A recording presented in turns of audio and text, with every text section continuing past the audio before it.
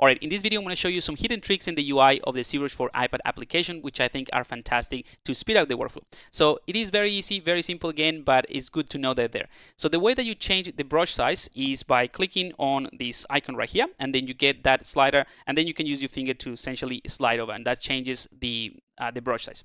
Now the other method that is not uh, hidden or anything is using the three fingers to click and or tap and slide up and down, right? So that allows you to change the brush size on the fly. You can also change the um, the focal shift. So the same thing, three fingers, but this time you can do left and right. Uh, but the one that I want to show you, which is kind of like uh, hidden in a way, is that you don't have to tap on the brush size and then use the slider. If you actually tap and hold, you'll see that the, the UI or the slider is a lot simpler. It doesn't have the other buttons that when you tap, you get, like the the dynamic and the other three dots right here.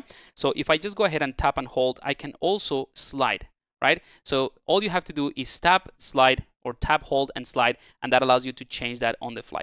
I personally prefer the three fingers because when I'm working, it's a lot easier that way, but you also have this alternative method where it's just tap, hold, and slide to increase or decrease the brushes. And it works exactly in the same way for the ZAdd to add or decrease the, the intensity of the brush. So hopefully this helps.